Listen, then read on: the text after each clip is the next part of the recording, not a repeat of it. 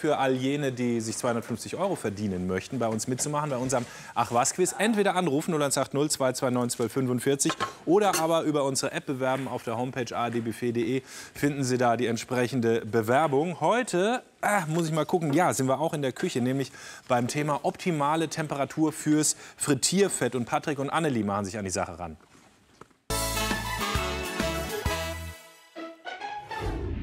Hallo allerseits. Heute habe ich mal so richtig Hunger auf Junkfood und deshalb mache ich mir heute Fritten. Fritteuse habe ich auch schon ausgepackt und mit hochwertigem Pflanzenöl gefüllt. Nur leider kann man gar nicht feststellen, wann das Fett heiß genug ist, um die Pommes reinzugeben. Dafür habe ich aber einen Trick. Und zwar kann man zum Prüfen einen Holzlöffel nehmen. Nee, also mit einem Holzlöffel klappt es garantiert nicht, die Fetttemperatur zu prüfen. Um zu sehen, ob das Fett die richtige Temperatur hat, benutzt man am besten eine Gabel.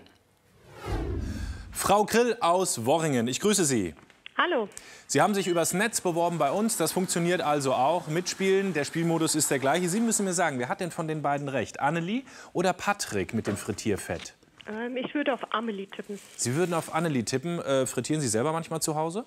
Selten. Selten. Ich also, muss ehrlich zugeben, das ist eine Geschichte, da habe ich null Ahnung davon, habe auch keine Fritteuse zu Hause. Gucken wir mal, wenn Sie richtig liegen und Annelie auch recht hat, dann gibt es 250 Euro. Bitte schön. Ich kenne mich aus. Um festzustellen, ob das Frittierfett oder Öl heiß genug ist, muss man einfach nur den Holzstiel eines Kochlöffels in das flüssige Fett halten. Die richtige Temperatur ist erreicht, wenn sich an dem Holz kleine Bläschen bilden und nach oben steigen.